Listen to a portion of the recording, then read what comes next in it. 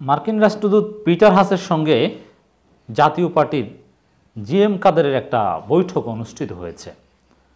এই বৈঠকের রহস্য কি, তাৎপর্য কি, যুক্তরাষ্ট্র কি বার্তা দিল, কেনই বা এই সময়ে জিএম কাদেরের সাথে পিটার হাসের বৈঠক, কারণটা কি? আমরা কিছুদিন আগে দেখেছি যে যুক্তরাষ্ট্র কার্যত বিএনপিকেই বিরোধী দল হিসেবে মূল্যায়ন করে। বিরোধী দল হিসাবে বিএনপিকে ভ্যালু দেয় বিরোধী দল হিসাবে বিএনপির সাথেই আফরিন আক্তাররা যে বৈঠক করে গিয়েছে, আমরা দেখেছি সেটা। তাহলে কি যুক্তরাষ্ট্রের প্যারাডাইম শিফট হচ্ছে? তারা এখন বিরোধী দল হিসাবে জাতীয় পার্টিকে এই কথিত বিরোধী দল, যারা আওয়ামী লীগের দালাল, তাদেরকে কি যুক্তরাষ্ট্র মেনে নিল এই বৈঠকের মধ্য দিয়ে? কেনই বা বৈঠক করল? এটা কিসের বার্তা দেয়? যুক্তরাষ্ট্র জিএম কাদেরকে কি বলে দিয়েছে? দর্শক, এই বিষয়ে একটু জরুরি বিশ্লেষণ প্রয়োজন। তার আগে খবরটা একটু আমরা দেখি। যে আসলে কি? পিটার হাসের সঙ্গে জিএম কাদেরের ঘণ্টাব্যাপী বৈঠক। এর মানে একেবারে সংক্ষিপ্ত সময়ের জন্য নয়, মোটামুটি দীর্ঘ সময় বৈঠক হয়েছে।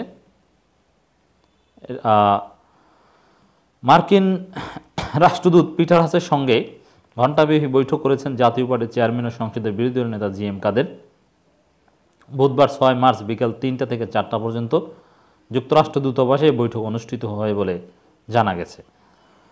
বৈঠকের সময় জি এম কাদেরের সঙ্গে ছিলেন জাতীয় পার্টির চেয়ারম্যানের বিশেষ দূত ও উপদেষ্টা মাসরুর মাওলা।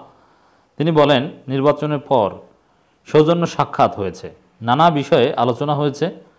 সংসদে বিরোধী দল হিসেবে জাতীয় পার্টির অবস্থান নিয়েও কিছু আলোচনা হয়েছে। এখন এই মাসরুর মাওলা যেটা বলছেন, এটা তো জাতীয় পার্টির পক্ষ থেকে আলোচনা করা হয়েছে এটা। হয়তো বা এটা বলেছে যে তারা বিরোধী দল, তারা সরকারের সমালোচনা করার চেষ্টা করছে। ইত্যাদি ইত্যাদি, যে আমরা এই বলেছি, সেই বলেছি, এই, এগুলো বলছে।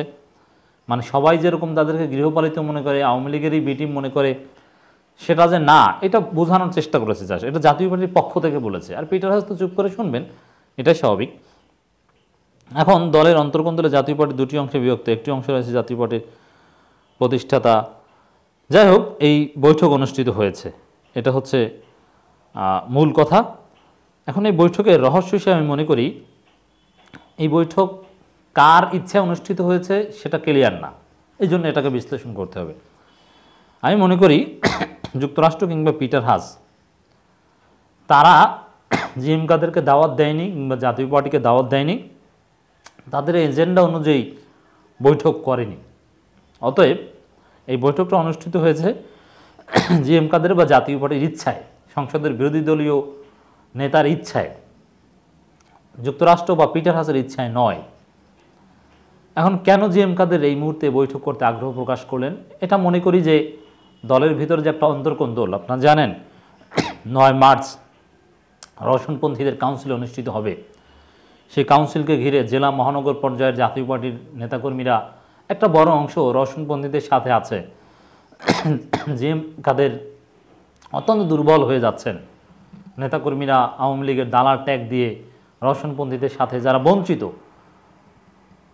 জিএম কাদের চুন্নুর বিরুদ্ধে নানান অভিযোগ তুলে রওশনপন্থীদের সাথে যাচ্ছে। এই পরিস্থিতিতে নানানভাবে জিএম কাদের তার অবস্থান জাতীয় পার্টির নেতাকর্মীদের সামনে তুলে ধরার চেষ্টা করছে। একদিকে জরুরি বিজ্ঞপ্তি দিয়েছে যে, না, কেউ যাইয়েন না রওশনপন্থীদের সাথে, আমরা আছি, আমাদের নেতৃত্ব ঐক্যবদ্ধ। কিন্তু এতে তো জাতীয় পার্টির নেতাকর্মীরা আশ্বস্ত হচ্ছে না। এজন্যে যেহেতু জিএম কাদের বিরোধী দলীয় নেতা, তার কথার একটা মূল্য আছে। তিনি চাইলে পিটার হাস বৈঠকের সুযোগ বা সময় দিবেন, এটা একেবারেই স্বাভাবিক, দিতে হবে। তিনি চেষ্টা করে একটা বৈঠক করেছেন কাউন্সিলের আগে আগে, যাতে দেখাতে পারেন যে না, ওই রওশনপন্থীরা যতই চেষ্টা করুক, যুক্তরাষ্ট্র তো আমাদের সাথে বৈঠক করে, আমাদের সাথেই সম্পর্ক, আমরাই বিরোধী দল। অতএব আমাদের সাথেই থাকতে হবে যদি তোমাদের ভবিষ্যতে কিছু করতে হয়।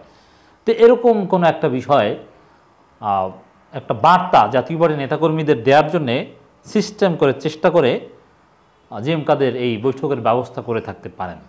এটা যুক্তরাষ্ট্র ও পিটার হাসের পক্ষ থেকে নয়। এটা আমি মনে করি, এটা আমার ব্যাখ্যা। তারপরও যুক্তরাষ্ট্র এ বিষয়ে কিছু বার্তা দিয়েছে তাদের এক্স এবং ভেরিফাইড ফেসবুক পেজে বিরোধী দলীয় নেতা ও জাতীয় পার্টির সংসদ সদস্য জিএম কাদের কাদেরের সাথে সাক্ষাৎ করে ভালো লাগল। গণতন্ত্র, স্বচ্ছতা, সহনশীলতা, সুশাসন এবং মানবাধিকার প্রতি সম্মানের প্রসারে যুক্তরাষ্ট্র বাংলাদেশের জনগণের প্রতি প্রতিশ্রুতিবদ্ধ। আমরা সব রাজনৈতিক দলের সঙ্গে সংলাপের গুরুত্ব দিই। এর মানে শুধু জাতীয় পার্টি না সবার সাথেই জাতীয় যুক্তরাষ্ট্র এনগেজমেন্ট রাখছে। জাতীয় পার্টি বা যে কেউ যদি তাদের সাথে দেখা করতে চায় এনগেজ হতে চায়, যুক্তরাষ্ট্র কাজ করবে। জাতীয় পার্টি আলাদা কিছু নয়। এটাই বোঝানোর চেষ্টা হয়তো বা করেছে। যাই হোক দর্শক, এই বৈঠক এটা জাতীয় পার্টি ইন্টারনাল পলিটিক্সের একটা অংশ। আর যুক্তরাষ্ট্রের বার্তা হচ্ছে, তাদের কাছে বিএনপি জাতীয় পার্টি সবাই ইম্পর্টেন্ট জনগণের সাথে এনগেজমেন্ট